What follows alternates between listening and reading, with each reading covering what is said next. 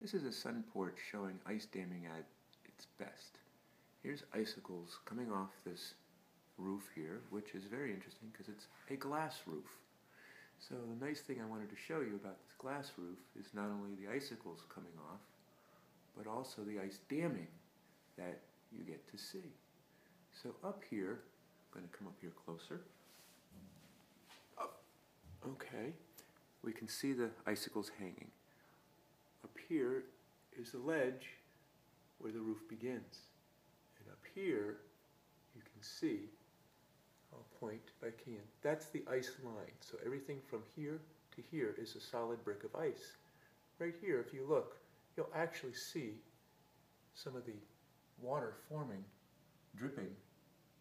Sorry about the reflections. But you can see that's the water line that is formed and the water, as you can follow it, all around is up several inches from the edge of the roof. This is exactly what happens on asphalt roofs and then the water seeps into the house dripping down inside.